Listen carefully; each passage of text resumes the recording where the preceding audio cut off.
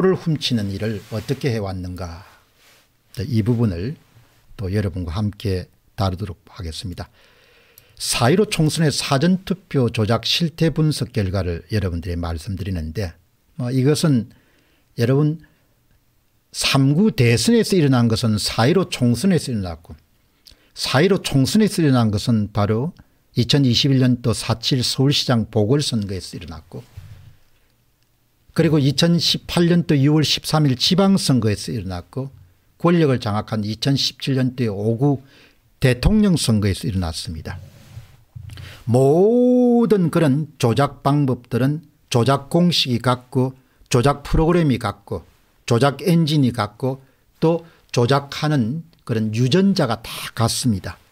그래서 우리가 이 문제를 예, 좀 해결하기 위해서 노력해야 되고 해결하기 위해서 노력하려면은 일어난 사실 자체를 정확히 파악을 해야 되는 것이죠.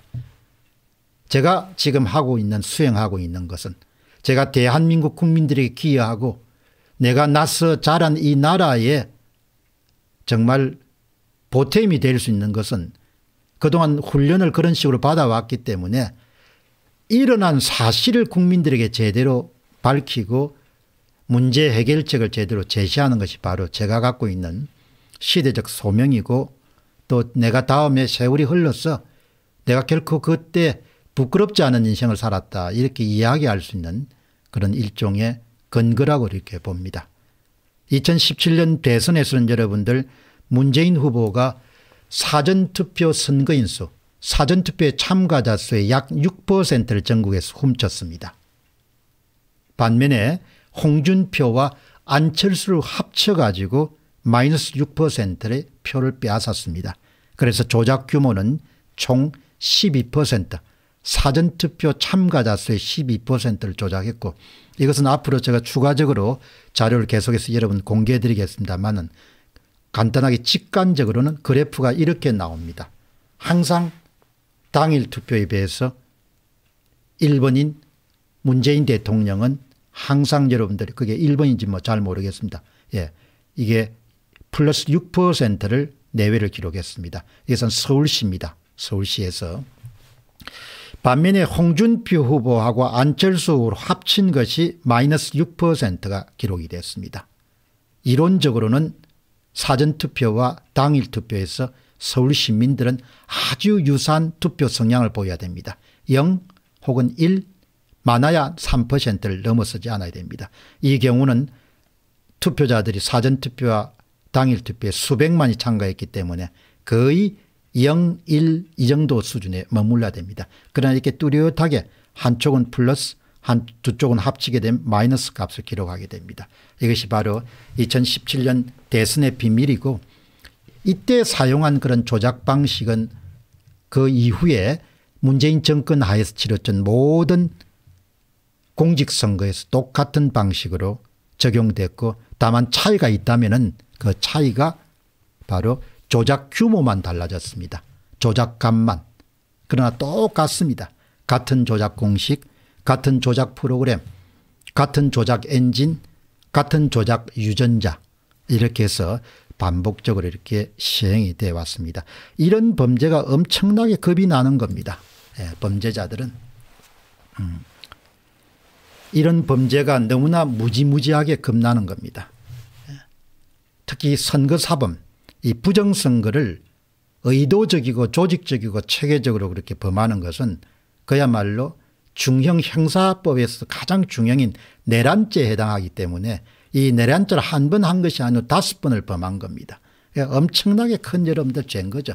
그러니까 신문들은 울산시장 지방선거 부정선거 사례만 이야기하지만 그거하고는 뭐 비교할 수 없을 정도의 어마어마한 사건입니다. 자 여러분 보시죠. 다음에 4.15 인천연수원입니다.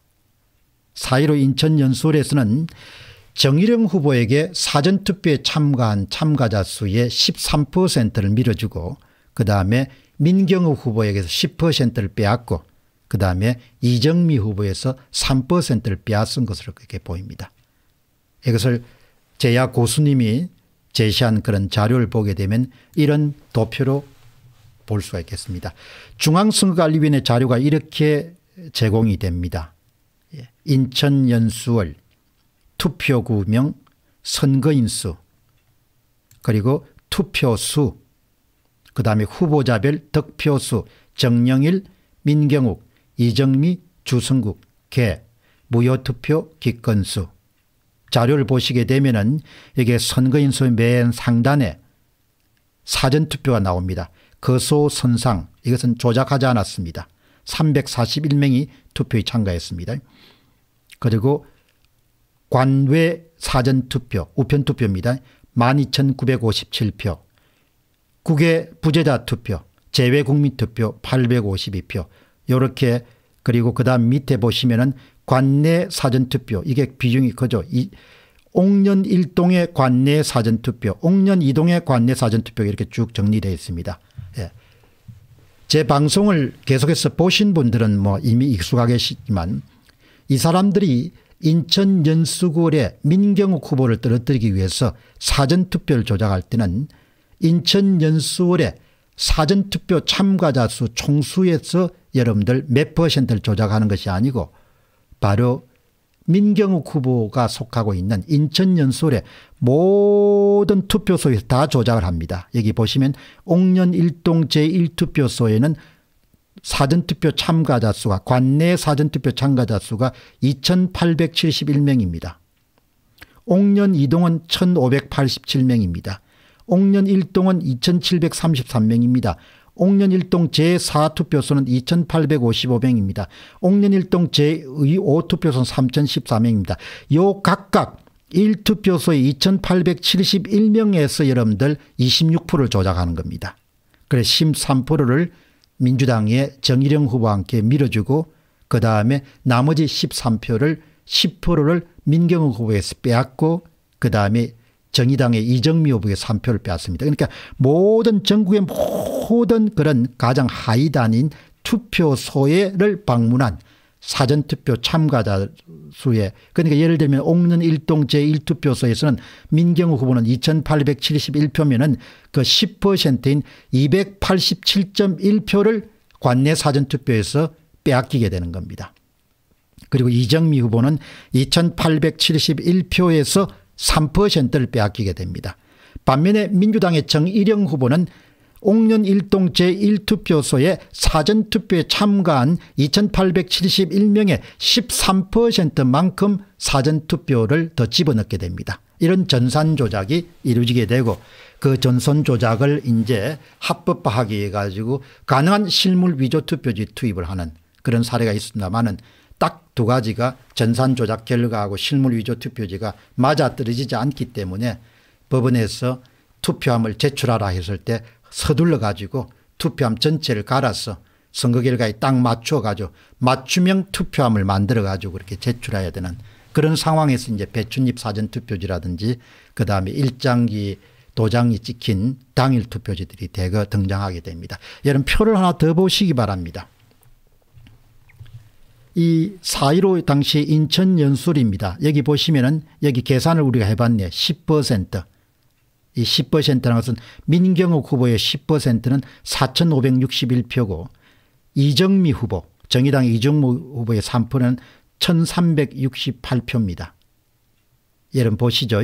여기에 보시게 되면은 민경욱 후보가 당일 투표에서 이기고 실제로는 사전투표에서 이겼는데 이렇게 조작을 해가지고 총 얼마나 만들었습니까 정영일 후보가 이긴 것처럼 조작을 해놓은 겁니다. 정영일 후보가 41.53% 민경우 후보가 39.25% 이정미 후보가 18.27%입니다. 요 세 숫자는 모두 다 조작된 수치입니다.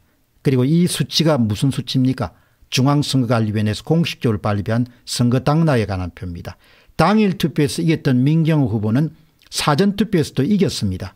이겼는데 사전투표에서 패배한 것으로 이렇게 조작을 해 놓은 겁니다. 예. 이렇게 여러분들이 이해를 하시면 좋겠습니다. 이렇게 제가 이제 이렇게 말씀드리는 것은 지금 이제 이것은 왜 지금 이렇게 설명을 드리는 거 하니까 바로 허경영 후보의 표를 훔쳤다는 겁니다.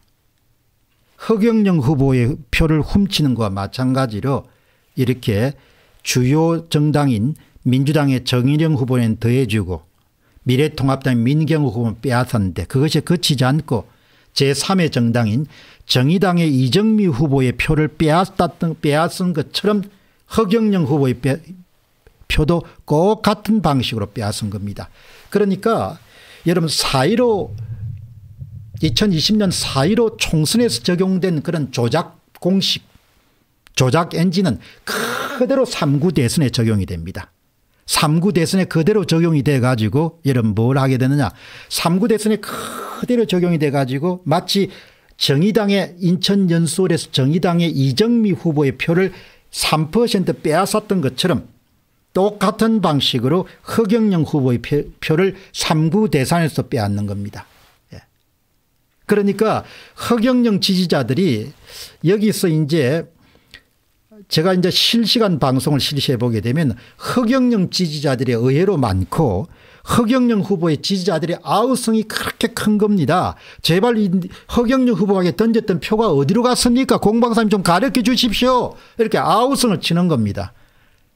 그래서 제약 교수님이 그 고통을 익히 파가셔가지고 도대체 그럼 허경영 후보 표는 어디로 갔느냐 이렇게 해서 여러분들 조사해 가지고 오늘 전국에서 광역시 하나에 대한 것만 발표를 했으니까 앞으로 허경영 후보의 표를 서울시나 인천시에서 얼마나 빼앗았는 걸 보면 훨씬 더 클 겁니다.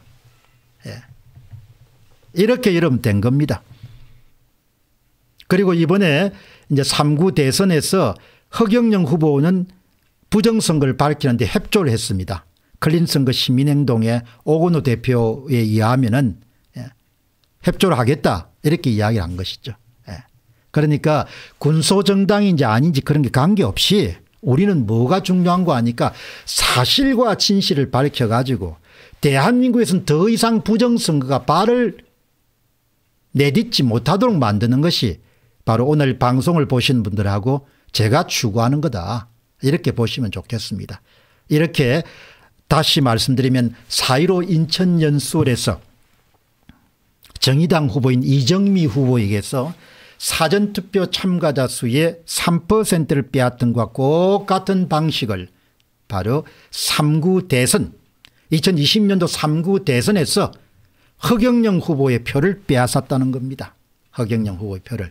이 부분을 여러분들이 말씀을 좀 하시고 허경영 후보의 소위 표 분실에 대한 부분들은 오늘 방송이 끝나시면 허경영 후보를 지지하셨던 분들은 그것을 캡처하셔 가지고 제가 표를 잘 만들어 놨으니까 주변에 널리 알려주시기 바랍니다.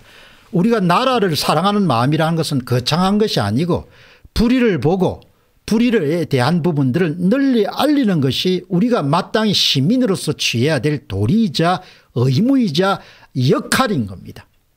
예. 그것이 침묵하는 것이 아니고 이준석이나 하태경처럼 그걸 덮기 위해서 그냥 광분하는 것이 아니고 사실과 진실을 널리 알려서 그야말로 공의가 정의가 이 나라에 차고 넘치도록 흐르는 강물처럼 대한민국에 하나님의 정의와 공의가 차고 넘치도록 만드는 것이 우리 세대가 지금 담당해야 될 역사적 소명이자 책무다 이야기.